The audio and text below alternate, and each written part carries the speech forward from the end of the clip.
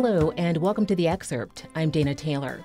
As we head into what promises to be yet another very hot summer, we anticipate a surge in demand for air conditioning. But the nation's electrical grid is aging and overtaxed in some areas. There were major failures last year in Texas. Meanwhile, solar and wind projects want access to new customers, while oil and gas interests prefer that this not happen so fast. The established utilities want to keep their monopolies, after all.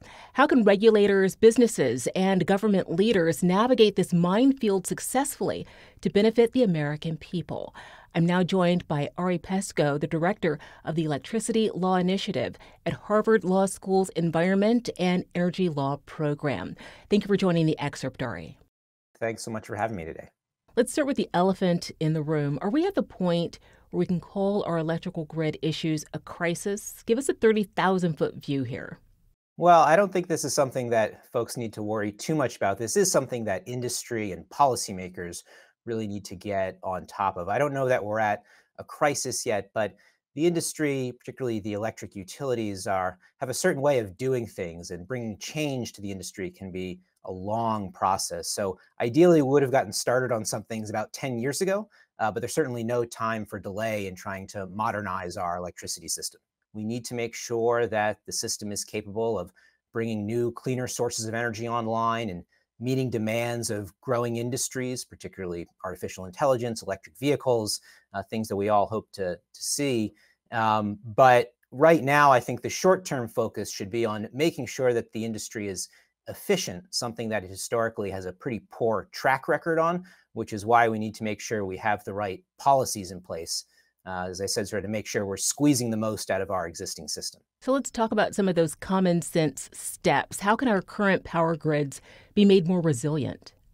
I mean, one simple thing is to incentivize consumers, particularly large businesses, to shift their energy use to uh, periods of lower demand. So we know when it's a really hot day, for example, in August, that everybody's going to be using their air conditioning systems and the grid is going to be potentially in some parts of the country basically at capacity. But we can get a little more room on the system if we encourage large energy users who may be reasonably indifferent to exactly when they're using energy to just shift their use to another time of day, like the middle of the night when we know uh, you know, most people will be using less energy. So that, that's a, a classic technique called demand response, but unfortunately, utilities have not been forward thinking on that. There's more advanced technologies that can be incorporated into the physical infrastructure that can help make sure we're utilizing the maximum capacity of our power line. So just to give you one example,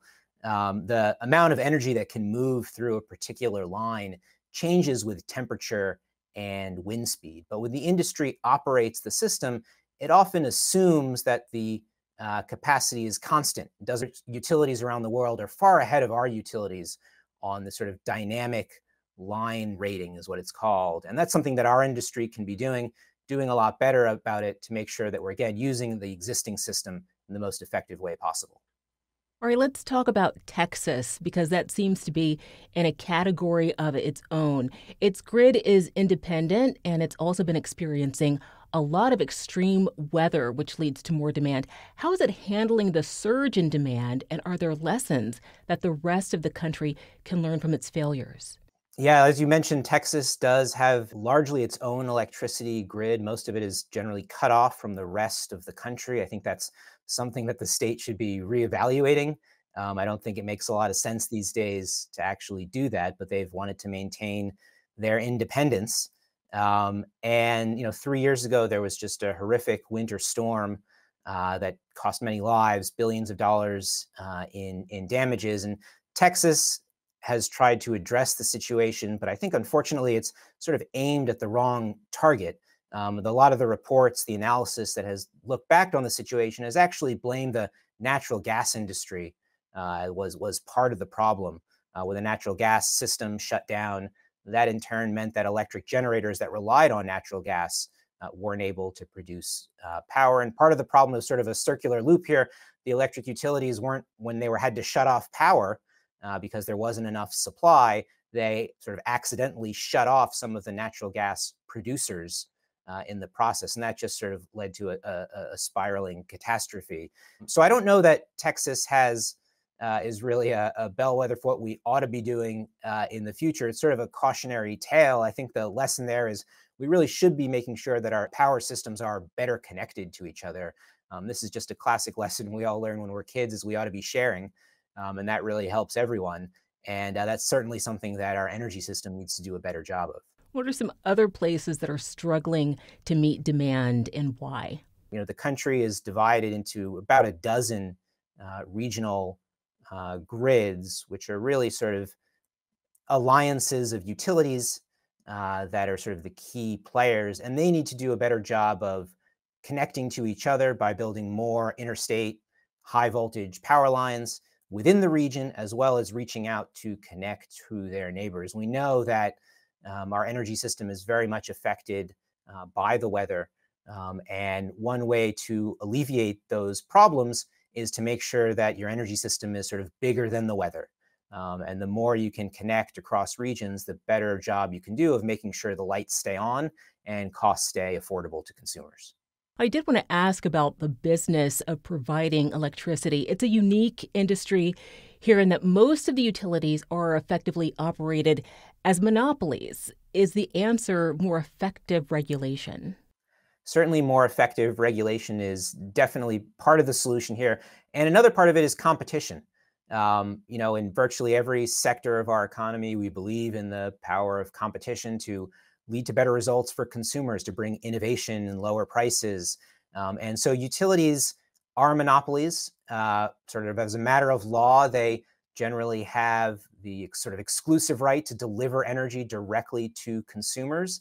And that right has led to sort of dominance uh, at the bulk power system, which is, consists of sort of the power plants that develop most of our, that generate most of our power, as well as those high voltage interstate power lines that connect everything all together. And really, for historical reasons, utilities dominate uh, those segments of the industry uh, as well. Over the last 30 years, policymakers have done a lot to bring competition to power plant development. I think that's led to good results. It's made it easier for cleaner sources of power to come online. Um, and I think there's a lot more work to be done to open up that high voltage transmission space to new investors, entrepreneurs, uh, and and competition because there's a lot of interest in um, building this infrastructure that can bring huge public benefits, but the utility industry has, of course, sought to maintain its dominant position and block uh, new entry.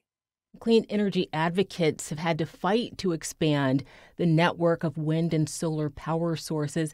Do you think that we're at the point where clean energy sources could help meet the demand?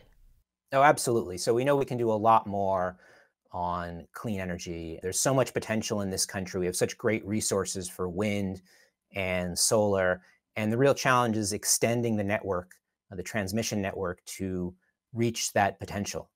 Um, and it really is, in some ways, just as simple as building this really very old technology. There's nothing particularly novel about uh, you know a high voltage transmission line. That technology has been around uh, for decades. We just need the industry to get to work on it. These projects do take some time. So as we're hopefully you know with better regulation pushing the industry to invest more in this infrastructure as i said earlier we need to make sure we're getting the most out of our existing system because that can also help bring more wind and solar online faster. America has experienced some massive grid failures, including one in 1965, another in 2003. The latter is estimated to have cost six billion in productivity and caused 11 deaths. Are we at all better prepared to avoid this going forward, or is it just a matter of time? I think there were definitely a, a lot of lessons learned from that uh, major blackout, uh, 20 plus uh, years ago. It, it led to a, a, greater standardization of the sort of technical standards that the industry uses to keep the lights on. There's been a lot of effort since then at increasing regional coordination. Um, you know, those those were um, hopefully they will remain uh, sort of once in a generation uh, events because they're sort of the human cost of them is is tremendous. The economic cost is tremendous. We're also reliant on electric power in our everyday lives. Um, and so even when the disruptions are just a couple of hours, we all we all notice it. Um, and um, you know, it's definitely something that policymakers and the industry take very seriously. Let's talk about other kinds of threats to the power grid. I'm thinking of hackers, foreign enemies. What keeps you up at night here? I mean, frankly, th- those sorts of threats are no doubt serious. Uh, they're sort of above my pay grade, I think. I don't have security clearances for those things. Um, so they, they don't keep me up at night. I know those threats are out there. I mean, unfortunately, you know, it can be in some ways a dangerous world, but hopefully, again, these have thus far been extremely rare uh, events that um, people in very high positions of power have a job to take very seriously. Uh, but I think sort of normal Americans like me and you, um, you know, it's not not these sort of threats aren't part of our daily lives. What I worry about more um, is just the long term trajectory for the industry because the technologies we have today, both in terms of how we can generate power, um, how we can move it around the system, how we operate a power system, are very different today than they were a generation ago. And so we just have to make sure that the industry keeps moving forward. Um, and whether that's better regulation that's going to get it there or more competition, we just have to keep pushing the utility industry to do better. We've talked about what's happening here in the US. Are there any innovations or new approaches that other countries are using that you think might be useful here? Particularly Europe is seems to be ahead of us uh, both in terms of the their ability to expand uh, the interstate high voltage system to connect across countries. Um, again, we're having trouble connecting across utilities and across states, and they're moving across international boundaries uh, much more aggressively than we are because, again, the benefits of sharing are so clear and have been for so long for this industry. And they're also uh, seem to be ahead of us uh, about deploying some of these advanced technologies that can help squeeze more uh, out of our existing infrastructure. So, but but you know, this technology, a lot of these solutions are not technologically hard to implement. It's really just the institutions, particularly the electric utilities, that have been so resistant to change, in part because they've been monopolies that just aren't subject to the normal sort of economic pressures that companies face, where in many sectors of our economy, either you innovate or you go out of business, and that just doesn't hold true uh, for these electric utilities. I'm based in Florida, and it's going to be a long, hot summer. I'd like for the AC to stay on. Ari, thank you so much for joining me on the excerpt. Thanks so much for having me today. Thanks for watching. I'm Dana Taylor. I'll see you next time.